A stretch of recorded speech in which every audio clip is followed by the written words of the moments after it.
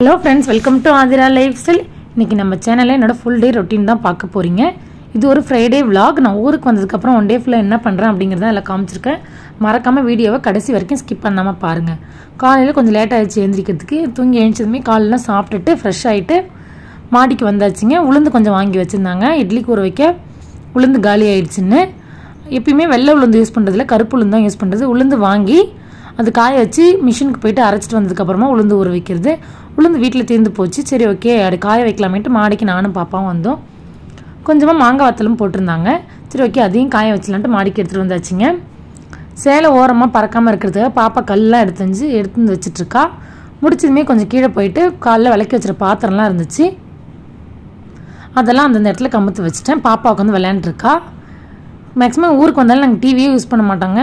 பாப்பா எதாவது விளையாண்டுருப்போம் நம்ம எதுவும் டிஸ்டர்பும் பண்ண மாட்டா. ஏதாவது கொடுத்துட்டா போதும் அவளுக்கு விளையாடுறதுக்கு.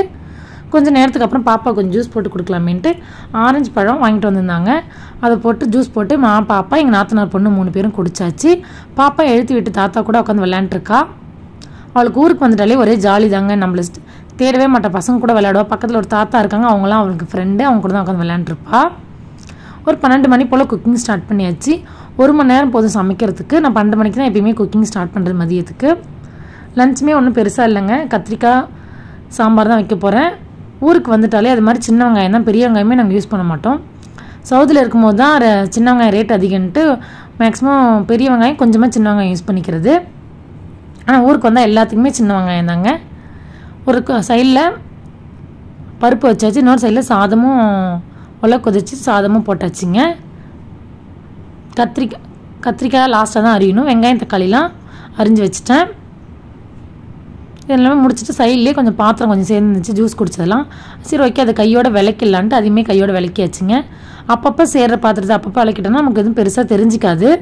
இல்லை ரொம்ப அதிகமாக விளக்குற மாதிரி இருக்கும். நான் அப்பப்போ விளக்கிறதுங்க விளக்கி முடிச்சுமே சாம்பாரும் வைக்க ஆரம்பிச்சாச்சு. இந்த சட்டி வந்துட்டு நாங்கள் அது பாண்டிச்சேரி போயிட்டு வரட்டுன்னு வரும்போது தான் வாங்கினோம். இந்த சட்டி ரொம்பவே சூப்பராக இருக்குங்க. பார்க்குறதுக்கே நல்லாயிருக்கும் அது. நான் ரொம்ப நாளாக இதான் பழகிட்டு இருக்கேன். நல்லா இது. சமைச்சு முடிச்சுட்டு பாப்பா வத்தை சரி மதியம் தொட்டுக்கிறதுக்கு சரி ஓகே பொரியல் எதுவும் பண்ணல வத்தை தான் வறுத்து வச்சேன். கொஞ்ச நேரத்துக்கு அப்புறம் சமைச்சு முடிச்சதுமே மிஷினில் துணியை போட்டிருந்தேன். சரி ஓகே அதை காய வச்சுட்டு வந்துட்டு அப்புறமா சாப்பிட்லாம் அப்படின்ட்டு துணியெல்லாம் காய வச்சுட்ருக்கேன் எப்போதும் போல் பாப்பா அதுக்கும் ஹெல்ப் பண்ணுறவாரன்ட்டு வந்து அடம் பண்ணிட்டு இருந்தா. அவள் ஏதாவது காய வைக்கிறேன்னு சொல்வாள் காய வச்சுட்டு வந்ததுக்கப்புறம் மதியம் சாப்பிட்டு சாப்பிட ஆரம்பிச்சாச்சுங்க. சாதம் கத்திரிக்காய் சாப்பிட்டு சாம்பார் வச்சேன். தொட்டுக்க வத்தல் மோர் இருக்குங்க. ஊருக்கு வந்துட்டாலே டெய்லி மோர் தான். இந்த வெயிலுக்கு மோர் ஊற்றி சாப்பிட்லன்னா சரி வர மாட்டேங்குதுங்க. மோர்லாம் போட்டு சாப்பிட்டாச்சு. நல்லா நான் பாப்பா நாத்தனார் பொண்ணு எல்லாம் ஒன்றா உட்காந்து சாப்பிட்டோம். சாப்பிட்டு முடிச்சுமே நல்லா தூக்குங்க. ஒரு ரெண்டு மணி நேரம் போல் தூங்கியாச்சு. தூங்கி எழுந்துச்சி ஈவினிங்லாம் நல்லா ஃப்ரெஷ் ஆகிட்டு பாப்பாவுக்கு ட்ரெஸ்லாம் மாற்றி விட்டுட்டு தோட்டத்தில் பூ பூக்கும். அந்த பூ வந்து பாப்பாவுக்கு தள்ள வச்சு விட்டு பாப்பா ரெடி பண்ணி விட்டாச்சு. இனிமேல் மாடிக்கு போயிட்டு பூ பறிக்க வேண்டியது தான் கொஞ்சமாக தாங்க பூக்கும் ஜாதி மல்லி சந்தன மல்லி பூலாம் இருக்குது மாடியில். அதை கொஞ்சம் பறிச்சுட்டு வந்து கட்டுவேனா. பாருங்கள் மாடி பார்க்குறதுக்கு எவ்வளோ அழகாக இருக்குன்னு. பக்கத்தில் எல்லாமே பச்சை பசேர்னு வயல்வெளிங்க. இந்த இடம் பார்க்குற மாடிக்கு வந்து நான் பூ பறிக்கலாம் கூட வந்து கொஞ்சம் நேரம் நின்று பார்த்துட்டு போவேன். ம மனசுக்கு ரொம்பவே அமைதியாக இருக்கும் அதை பார்க்குறதுக்கு பூலாம் பறிச்சுட்டு பாப்பா கொஞ்ச நேரம் விளையாட வச்சாச்சு. தோட்டத்துலேயே கொஞ்சமாக வல்லாரக்கீரை நிறைய இருந்துச்சுங்க. நான் கொஞ்சமாக தான் வச்சுட்டு போகும்போ போகும்போது நல்லா நல்லா படந்து நிறைய வந்துச்சு. சரி வைக்க அதை வச்சு சட்னி ஏதாவது அரைக்கலாம் அப்படின்ட்டு வல்லாரக்கீரை பறிச்சிட்டு இருந்தேன். பூலாம் பறிச்சுட்டு நிறைய இருந்துச்சு. கீரை நான் கொஞ்சமாக சட்னிக்கு மட்டும் தேவையானதை பறிச்சுட்டு வந்துட்டேன். பறிச்சுட்டு வந்துட்டு ஈவினிங்காக காயப்பட்ட ட்ரெஸ்லாம் எடுத்து வந்து மடிச்சாச்சு. பாருங்கள் என் நாத்தனார் பொண்ணு தான் பூ கட்டினா ரொம்பவே சூப்பராக கட்டியிருந்தா. பூலாம் கட்டிட்டு எல்லா வேலையும் முடிச்சதுக்கு அப்புறமா அம்மா வீட்டிலேருந்து ஸ்நாக்ஸ் வந்துருந்துச்சு அண்ணன் பசங்க எடுத்துகிட்டு வந்தாங்க. வேறு ஒன்றும் இல்லைங்க. நீர் உருண்டை தான் பாப்பாவுக்கு நீர் உருண்டை தான் பிடிக்குன்ட்டு அம்மா செஞ்சுருந்தாங்க. அது பசங்க எடுத்துகிட்டு வந்து கொடுத்தாங்க. அதெல்லாம் சாப்பிட்டு முடிச்சுமே அண்ணன் பசங்க கூட உட்காந்து பாப்பா ஜாலியாக விளையாண்டுட்டு இருந்தா.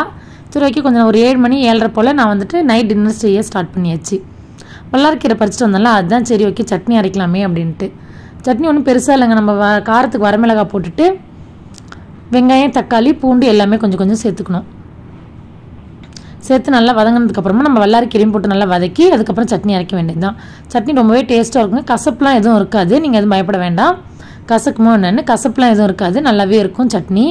பாப்பாவுக்குமே பிடிச்சிருந்துச்சி. என்னமா க்ரீன் கலர் சட்னி அப்படின்னு கேட்டேன். ஆமாம் வல்லாரிக்கிற சட்னி சாப்பிட்டா உடம்புக்கு நல்லதுன்னு சொன்னதுமே பாப்பாவுமே தொட்டு சாப்பிட்டா. எல்லாருமே நல்லாயிருக்குன்னு சொன்னாங்க. வீட்டில் கசக்கலாம் இல்லை அப்படின்னாங்க.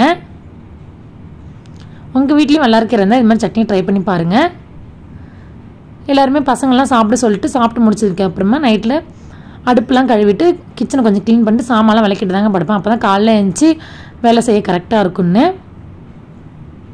எல்லாமே முடிச்சாச்சு. ஜாமான்லாம் விளக்கி வச்சுட்டாங்க. இதே என்னோடய ஃபுல் டே ரொட்டீன் இது. இந்த வீடியோ பார்த்து கண்டிப்பாக நீங்கள் என்ஜாய் பண்ணிருப்பீங்கன்னு நினைக்கிறேன். இந்த வீடியோ உங்களுக்கு பிடிச்சிருந்தா லைக் பண்ணுங்கள் ஷேர் பண்ணுங்கள் மறக்காமல் நம்ம சேனலை சப்ஸ்கிரைப் பண்ணுங்கள் தேங்க்யூ பாய்